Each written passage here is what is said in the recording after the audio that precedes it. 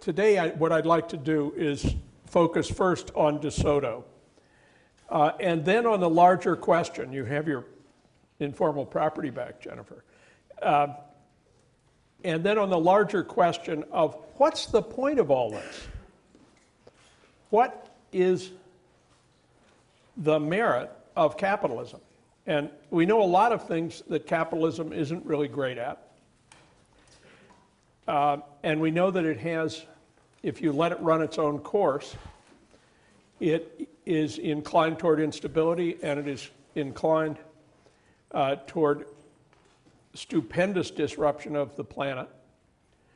Uh, And yet, I, for one, am a uh, guarded enthusiast for capitalism.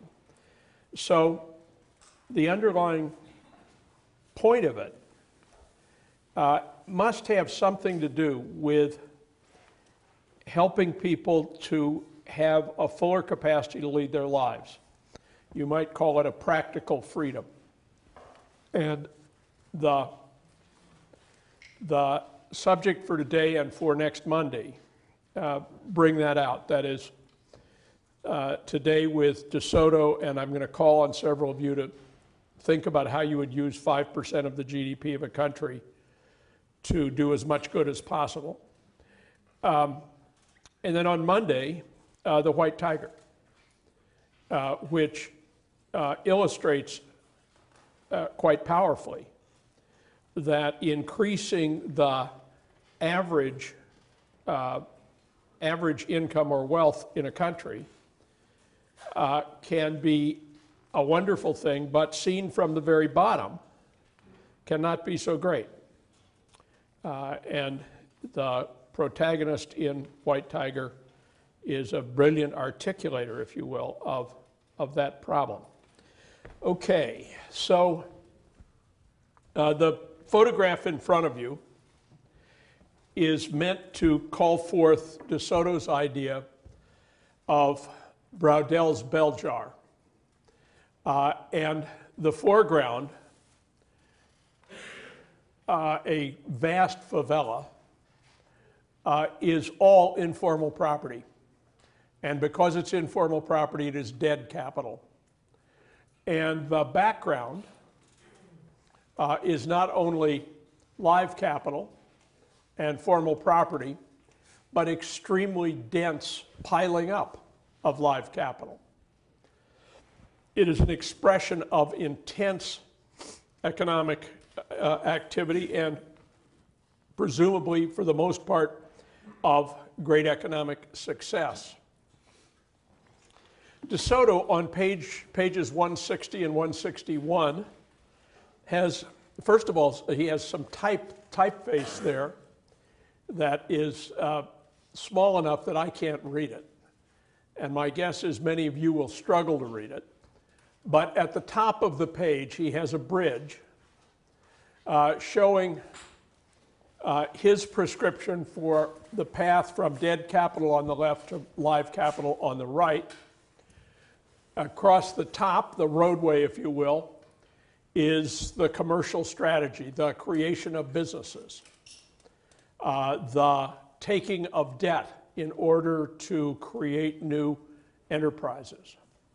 And then the process by which uh, DeSoto and his disciples first map out the problem uh, and then engage in a political and legal strategy to create the framework for formalized property all the way to the bottom of society, and then the operational strategies whereby that is implemented a neighborhood at a time, a favela at a time.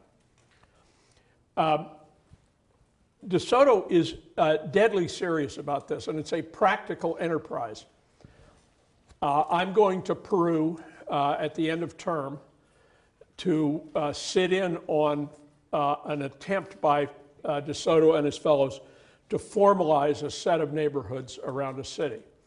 And I hope to write a business case that will be used in this course a year from now on that trip. Now, uh, if you take the totality of, of DeSoto's book, uh, the only thing worse than leaving informal property informal, from his point of view, is force fitting a formalized system invented in a university uh, onto an existing system of informal property. And I'd like to um, talk about that with you for a few minutes and give you a case uh, from my own experience in an American setting. Well, informal property, these are boundaries in an imaginary informal property system, uh, which correspond to the ingrained habits and customs of the people who own this property. And the, their inclination will be always to defend it against uh, change imposed arbitrarily from outside. And if you ask uh, smart professors at the Yale School of Management, uh, what's the most efficient way to lay out the boundaries of property, they'll give you something like the red grid here with right angles and straight lines. And right angles and straight lines have a brilliant history in American property law. Uh, President Jefferson uh, laid out a grid like this on all but the northeast corner of the US of longitude and latitude lines defining uh, sections of 640 acres. And the whole development of the American West is actually on, with the exception of the mountainous areas, for example, the Sierra Nevadas. With that exception, the whole country looks like uh, this rectilinear grid.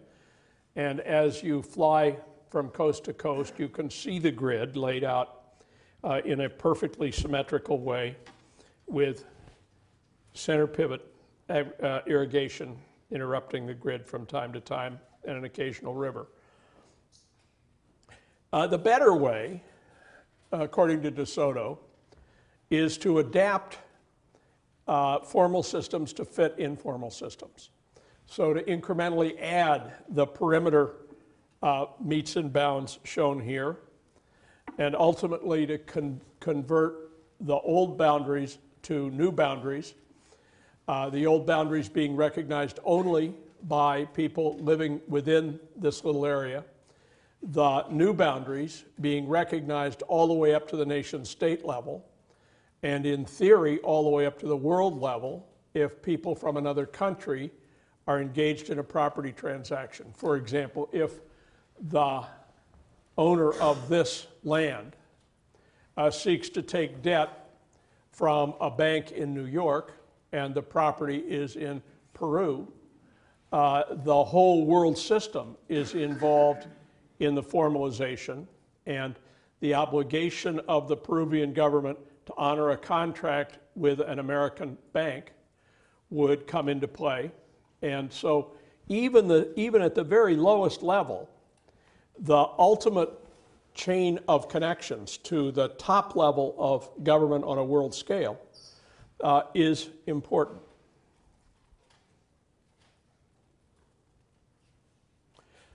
Um, nearly 20 years ago, um, a fellow named Kurt Schmoke, uh, Yale class of about 1970, uh, and sometime senior fellow of the Yale Corporation, uh, was mayor of Baltimore. And I, I, didn't actually have him as a student here, but I was working then on uh, cities that had too much housing, and uh, which I called undercrowded cities. If you read all the city planning books from that period, it's all about how do we handle all this new population that has to be housed.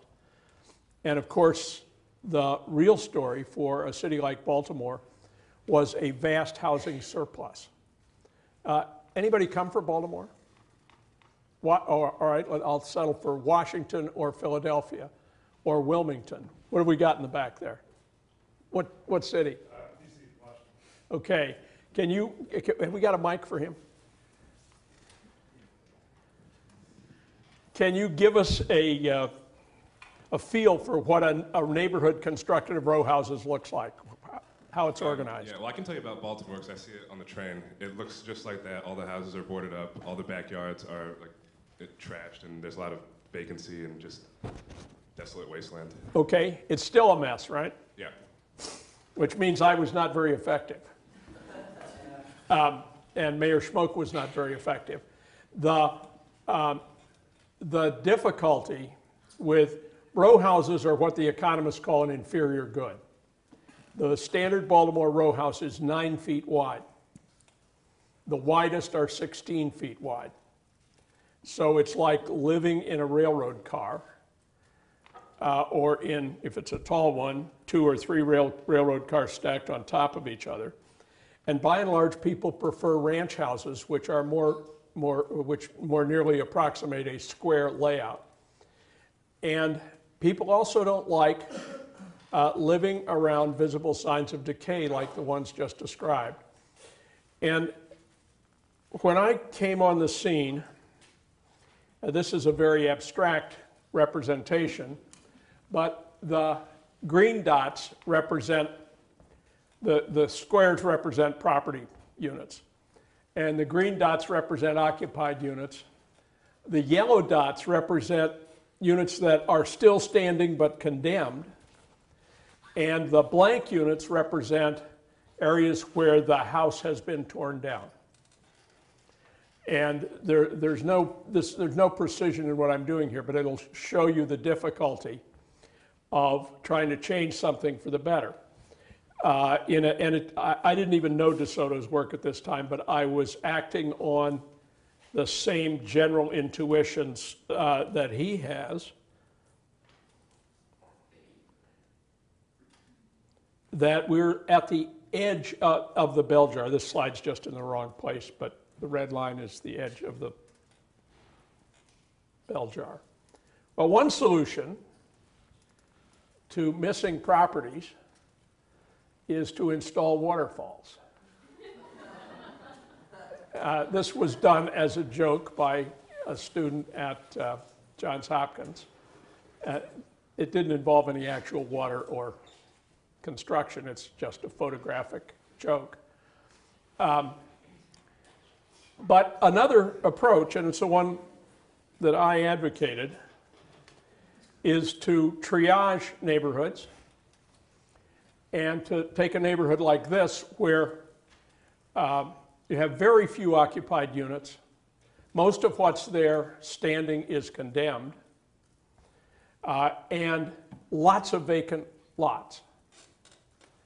And to say, let's find a way to use the wealth of people living here to improve conditions in a more promising adjacent neighborhood. So the first thought uh, is that you uh, take down the uh, condemned houses in the unworkable area. Uh, and at the same time, you offer uh, swaps where you buy for what it's worth, which is not a lot. You buy houses in the unworkable area from people, and part of their payment is clear title to a similar space in a more promising and nearby neighborhood. So there is a, uh, we're creating a market here that has a barter element in it for land uh, and a small cash payment and a, uh, uh, an effort to, admit, uh, to facilitate the financing of replacement housing. Uh, let's see, how's this slide different? And so after the people make those moves, this is theory, you get a much denser occupancy grid in the top, and you get uh, some benefit from that. One, one benefit is that crime generally goes down. A neighborhood which is mostly vacant lots is an invitation to criminal activity. And the statistics on this area in Baltimore, and it had hundreds of areas like this one, the crime statistics are brutal. Uh, another fact is that the administration of public services is wildly inefficient where only a few houses in a neighborhood uh, have trash to take away, uh, where streets need to be um, plowed and cleaned, uh, even when very few people use them, uh, and where police services are stretched extremely thin. So the idea is to densify one area at the expense of another, uh, and then to demolish, uh, to demolish and replace the condemned houses in the stronger neighborhood, and you've made some progress. Well, the, the first thing, the first thing that, what's the first objection that comes to mind?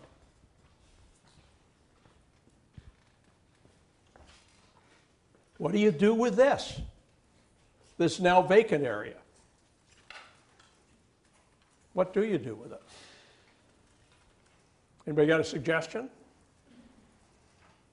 Uh, Sasha? Make it a park. That's good. Uh, and it could be a park with a huge lake in it. Lakes are much easier to administer than, you don't have to mow lakes. And uh, crime is relatively uh, scarce on, aquatic crime as so far as I know, rare. Uh, or in some places, you make it a golf course. Uh, there's a place in Miami where they've created a zone where they've just, uh, it just grows wild. It's largely bamboo, and there's a 12 foot fence around it. And the thought is that 50 years from now, somebody will figure out what to do with it. Um, the, so that's one problem. Uh, but there's another set of problems that are even tougher.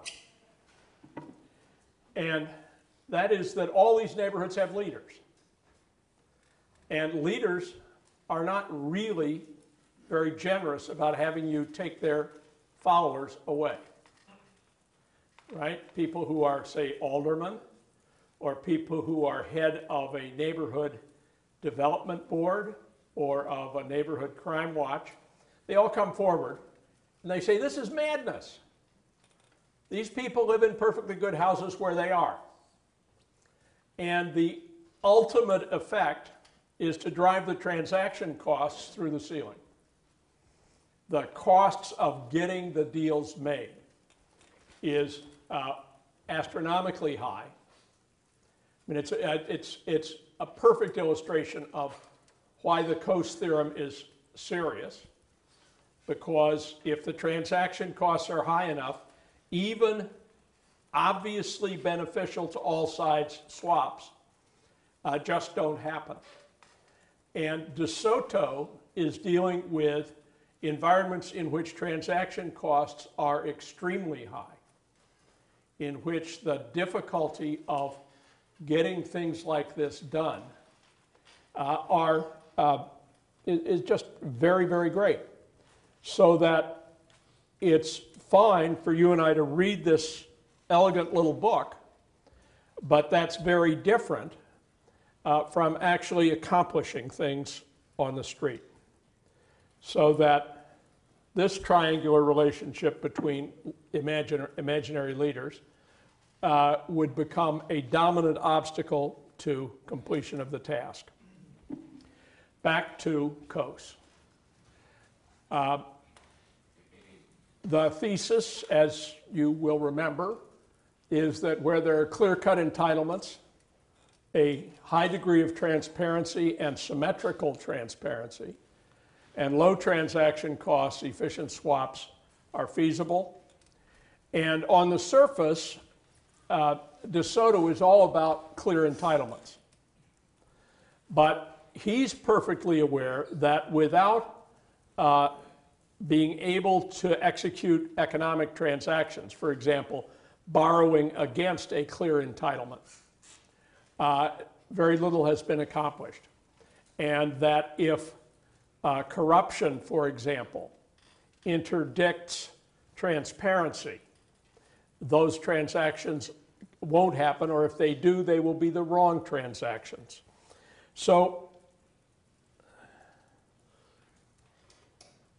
one way to think about, about how to use DeSoto practically is to take the three conditions from uh, this simplified version of the Coase theorem and put them in a table with relatively practical um, categories that you can, you can deal with, and then look for ways in which, for example, uh, education uh, might impact uh, transparency, and so on.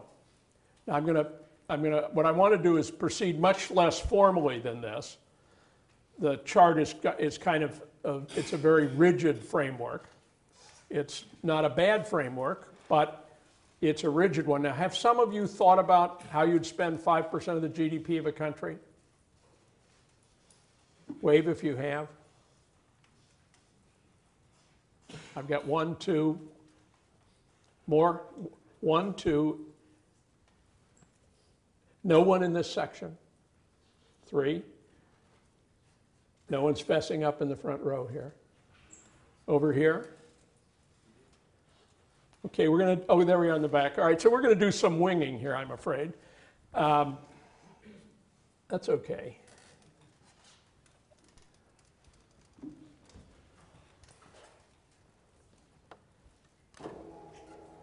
Uh, Leslie, will you trade me places? Um, Yep, there's some chalk. Now, what the exercise is to figure out if we can create large increments in useful wealth by spending money. Um, was it Tom? Is it? What do we got? So I think it's education is sort of the key to everything else, and by Okay, you would put education ahead of any of, of all other things. all other things, Okay, uh, eh, help us understand why. Uh, because I think having human capital can increase your investment and everything else, but without that, you're not going to have the people that you need to uh, build roads or expand Okay. property rights or all these other things that this sort of. Okay, so education, a relatively well-educated populace is a necessary condition. Is that what you're saying? Absolutely. Okay. Uh, are there any necessary conditions to a well-educated population? Uh, well-educated teachers, I think. Would be Okay, so we have to have uh, well-educated teachers. Do we, are there any other things we probably need? Yes. Like supplies, food, running Food, running clean water, uh, electricity, all the infrastructure. You, you buy that, Tom? Is this- Okay, so education was expensive to begin with, and now it's looking more expensive. So we're probably going to need more than 5% of GDP to get very far with that, but that's a good thing. Tal? The other problem with education is that unless the opportunity costs of the education for those workers are, are not extremely high, they're not, they're not going to go to school. The kids will end up trying to make as little as much money as they can to support their families. Okay, And so Perfect. not end up actually no, educating the absolutely, spot on. And th- there's an incident in White Tiger, which is exactly about that, where the uncle comes and drags the, our protagonist away from school because his labor has been exchanged in a family deal. Yes, back. Let's just put a little lag in the conversation so the, the mics get there. There's also a cultural problem, like certain societies don't want females to go to school. So there's something deeper than just, you know, opportunity costs at work there that must be dealt with in other ways. Okay, uh, I, I'm sure you're right. See, can you give a specific example? Um, well, I was watching a movie and it was about um, it was about like um, Indian societies in which like women are not allowed to go to school, and Uh-huh. Um, the figure in the movie, The Leading Hero, was actually based on a real life figure who went into the village and convinced all these different families to let their children go to school um, because it would be better for them in the long run, but like not based on opportunity costs, but basically trying to change their cultural kind of closed. Okay, and wh- what's behind this prohibition on educating women, do you suppose? Um, I think it's partly to do with the males. So It like, is? so I'll bet on that, do you think? So, like, I know that in certain families as well, like, the female cannot be more educated than the male in marriages. It's a precept I certainly believe in. yeah. so um, sometimes a family believes that if their females are too educated, then they won't be able to marry them off, or something like that. Okay, that's terrific. Thank you. Yes, You also need infrastructure in place and like laws and an economy in place for like what they're going to do after they go to school. So like in Cuba, they have fantastic education, but no opportunities for anyone like after that's finished. So for education to be effective, like you also have to invest in sort of like the next step. okay. So for education to be effective, we have to have a next step. Yeah, it, is the Cuban example one you know well? I wouldn't say I know it well. That scares me. I don't want you to ask me a, que- a question I don't know. Well, uh, can you, I mean, I've got a couple of, I've been to Cuba a couple of times, and I have a couple of Cuba stories that could fill in the blank, but how about you trying first? Um, I tried to go to Cuba last year, but I didn't get a visa. Um, so I don't know it as well as I would. Um, they have, well, it has a lot, I mean, it has a lot to do with the like communist socialist model. There's just no, there just aren't any like jobs, aren't any, so like if you're educated as a lawyer, you just end up being like a taxi driver no matter what. So, Okay, good. There's a, uh, I have a friend whom I met in Havana who was sort of top five among the fisheries scientists in Cuba, PhD in biology. And he was, he kept giving the wrong advice. After the Russians pulled out in the so-called special period, uh, the government wanted to double and double and double the uh, harvest of shrimp and there are limits on the ecosystem. And he kept saying, you can't do it. And finally, they declared him unemployable. And the effect of that was that he became a taxi driver and trebled his income. It was still a very low income, but it was treble what he was making as a scientist.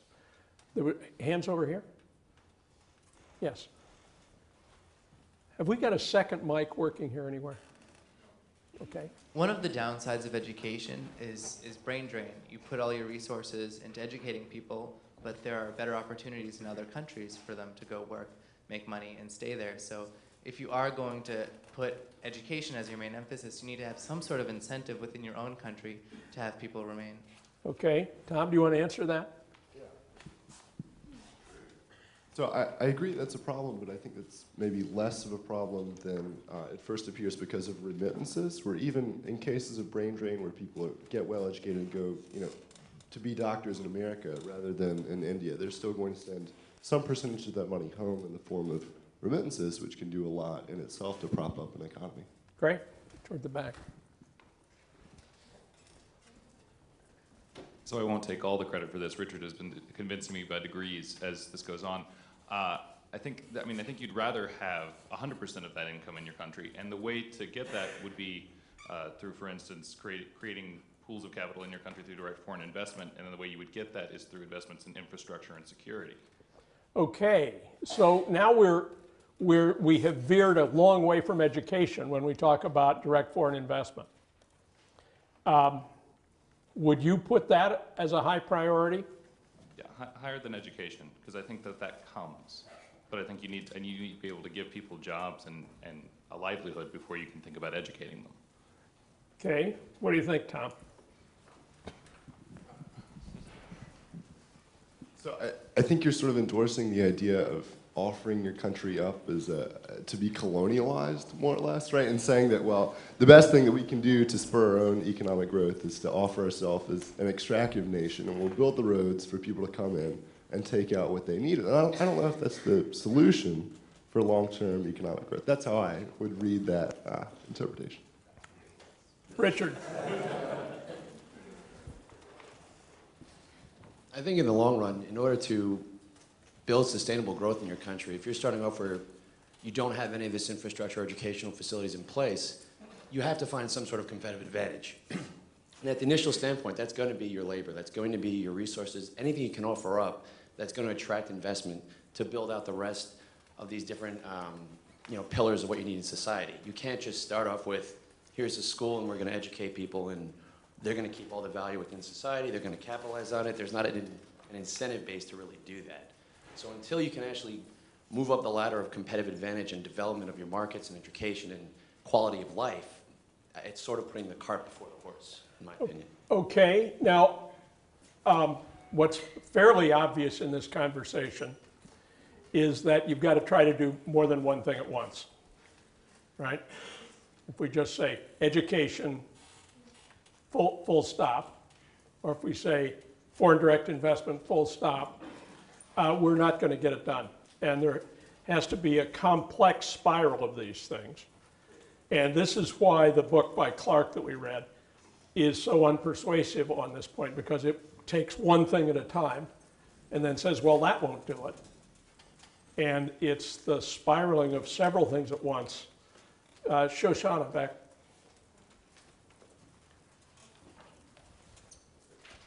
I think the problem goes back to the question at hand, because with 5% of the GDP, you really can't. You got to talk a little louder. I, I think the problem goes back to the question at hand, because you can't really do much with 5% of your GDP, so people are more likely to create this false dichotomy of options just because they have limited resources. Okay, so, but if, if, if this were a real exercise and you had control over 5% of the GDP of Cuba or Peru or Nigeria, um, you, what would you do? You've got the 5%, what's the first thing you better figure out? I think you have to focus on getting basic resources and developing a basic structure. So you may have to forfeit your emphasis on education immediately. Okay, so, but the, the, what I'm driving at is that you would want to look at what's already happening in the right way, right? You would want to, you'd want to say there are, if, if there are 12 conditions we're worried about, you'd want to survey and figure out that there were three or four where you could ride somebody else's dollar, so to speak. And then you would figure out some crucial set of others that you would have to pay your attention to. Does that, does it sound right? I think that's fair. I think the problem lies in, and I'm, I was focusing on Central Asian countries when you gave us this mini assignment, and the problem comes when you devote everything to foreign direct investment, when do you stop? And like, when do you transition back to meeting all of those other criteria that you laid out at the beginning? Okay, so, so it sounds like, it sounds like this is a pretty complicated subject. Richard? I, I apologize. I just wanted to clarify what we were, our point was, which is by attracting foreign investment, the idea is that it's not mutually exclusive. So instead of taking a limited 5% of GDP and allocating towards one aspect of society, if you can signal to the, the broader markets that yeah, you're an attractive investment place, you've now grown that pool of capital such that it can be invested through all the different aspects of um, what you need to build society as opposed to cherry picking one over another. That's the goal of attracting multiple investors. So, so one of, so the one thing we're at least clear about is that there is no secret sauce, right? There's no one secret sauce that is going to get this job done. It's vastly more complex. Now, who, did you have your hand up a moment ago? I, I did, but I think it's, it's been, um, It's been covered? true, I, yeah, I think it has. Okay. Uh, Who's got, who'll give us a fresh start with a,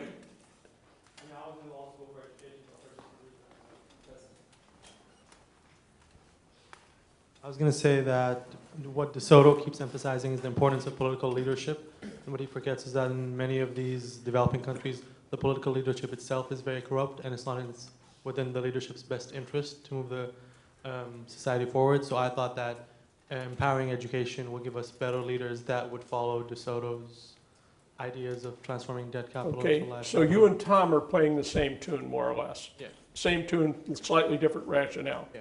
Okay, good. Was just about to add to that with an example, actually, of a Kosovo case that I had experienced this summer. Um, when I was in Kosovo, uh, they had a hard time attracting leaders because most of them had like fled as refugees in the '99 war. Um, so the USAID program had invested instead of like this foreign direct investment project. I mean, like there are projects in that as well, but a professional studies course that educates leaders, particularly in finance and investments and these sorts of things. So it's bringing like the brain drain back, well, like back into the country and investing in leaders instead of, and so then like once they have an efficient like leadership base, they can go out and like do these things themselves. Did I just hear you say that MBA education is the most important thing in the world? Wouldn't that be nice? Thanks. Um, Who would, are there, why am I doing that? Uh, uh, Who would start us with an entirely different starting point? Yes. And Wait for the mic.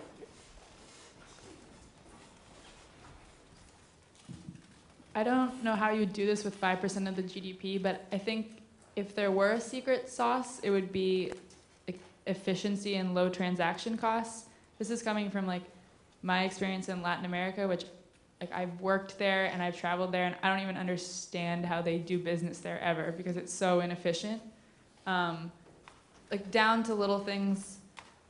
Like I know in Buenos Aires they don't have enough coins, but you can only pay with coins to ride the bus.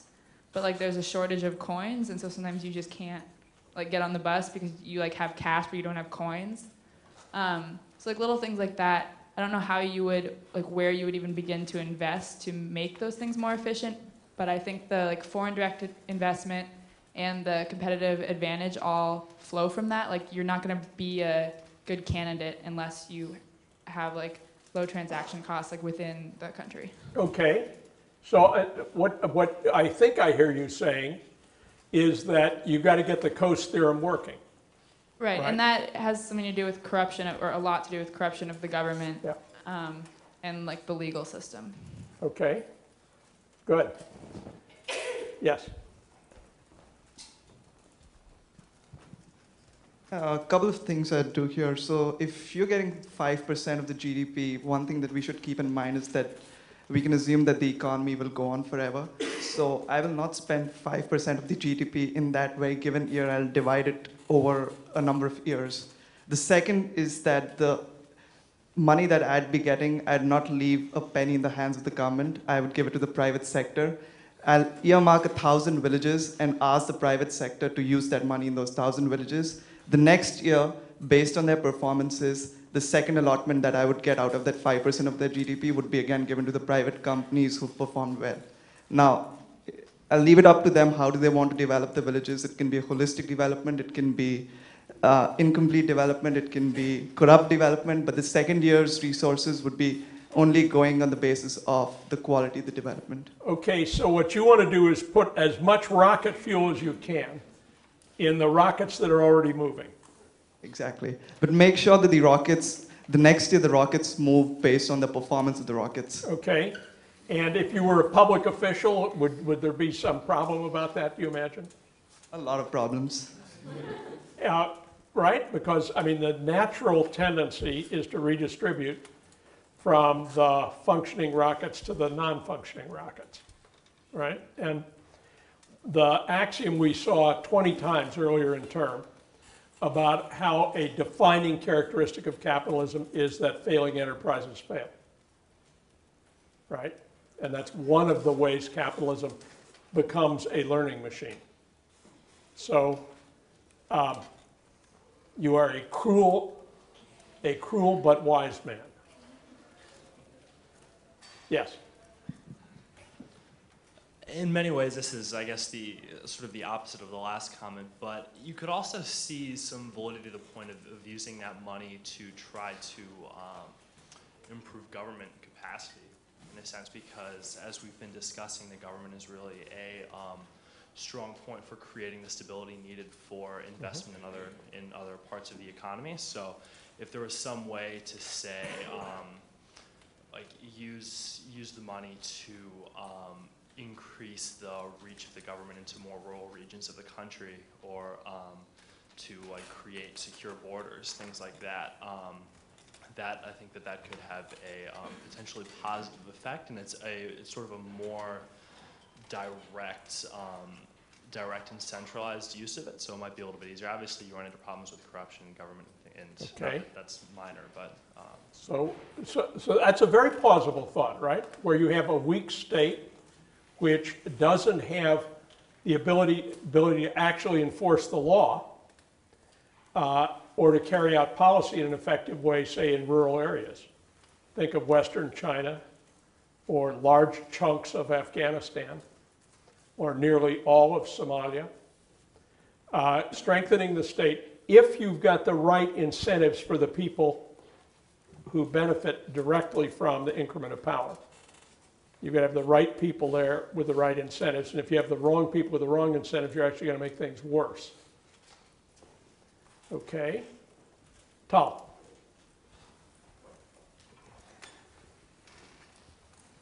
I, I sort of have two different, very different ideas. One that's sort of bottom up and one that's sort of top down from two different parts of the world. Um, the, the first one that's sort of bottom up uh, would build on the work of sort of microfinance, um, especially in India and countries like that, where we've seen that if you give entrepreneurs, even at the village level, some basic capital, they can e- even based on their their dead capital, sort of, they can turn it into live capital um, themselves, um, especially women. Um, and if you focus on that, you can maybe build up sort of a local economy that's sustainable in its own right, and not just um, sort of at the uh, whim of FDI. At the same time, um, to use a part of the world that I'm a little more familiar with, um, Israel. My parents are from Israel. I spent a good deal of time there used to be it was built up on the kibbutz system, a socialist system, um, and had many of the same problems of the former communist nations almost at first, and then transitioned into a much more capitalist, uh, market-oriented economy, one that is arguably quite strong. And part of the way that was accomplished was, uh, as much as it pains me to say, through state-sponsored enterprises, much in the way that China um, accomplished it. Um, and in the sort of building up of basic utilities and infrastructure and the companies that serve the people's needs for those, and then sort of spread outwards, eventually turning that informal sort of communal property into individual property and live capital. Okay. Um, Let's stop and take stock here for a minute. Uh, We've heard um, a dozen or 15 points of view, uh, every single one of them intelligent. Uh, And no single one of them any major fraction of an answer. So there is some pattern of webbing together different strategies and of custom fitting uh, those strategies to the circumstance of actual countries and actual cultures and actual governmental systems and actual infrastructure systems. We've said very little so far today about infrastructure. And arguably, uh, trains, planes, harbors, all that uh, should be an important, at least late stage and very possibly middle stage element in a strategy. Uh, next time, uh, where our text is the white tiger, and I would like to be able to call on you to bring forth the anecdotes from White Tiger because we're going to use it as follows. The circumstances described in this brilliant novel are almost invariably circumstances that are destructive of wealth formation. And so think about the, the events which happen in the book, and then in class we're going to flip them on their heads, so to speak, and talk about what might be beneficial uh, to the protagonist and more generally to uh, Village India and uh, Village Indian, Indians who come, in the language of the book, out of the darkness into the cities. Uh, and I'll show you a short film clip of uh, a company called SELCO, which is in the business of making off-grid electric lighting for Village India. Uh, and then before the end of term, you'll see a full business case about this company. It's a for-profit company, uh, and it depends on microfinance to sell uh, lighting. There are many parts of India where there just isn't any artificial lighting. And the, the, it's a quite, quite inspiring and interesting uh, case. So I'll see you on Monday, and if, if you haven't yet read every last page of White Tiger, uh, do it over the weekend.